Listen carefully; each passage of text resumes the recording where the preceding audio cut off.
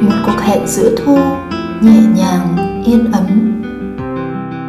Nơi tận tình trong từng chi tiết nhỏ.